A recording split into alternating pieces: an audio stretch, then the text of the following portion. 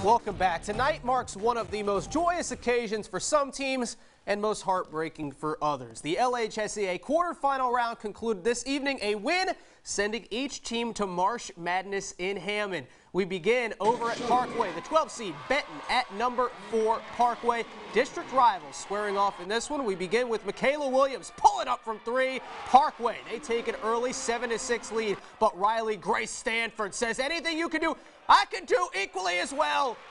Tigers up 13 to 7. It would be the largest lead anyone would have all night to the second quarter. It's tied at 15. Jada Anderson to Marissa Shaw. It's 17-15 Tigers. To the second half we go. Should Diamond Knight goes on a run herself. She scores six straight points. 29-25 Panthers. End of the third here. Anderson taking the last shot at the buzzer. Tosses up a prayer, and it's answered. 36-35 Tigers entering the fourth. Then Chloe Laren's turn to shine now.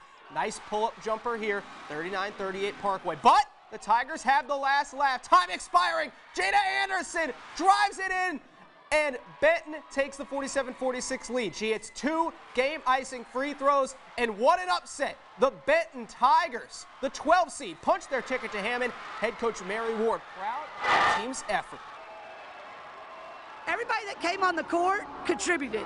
So even the unsung heroes, like when I put in Tate Sellers and she guarded Michaela, like she did her job.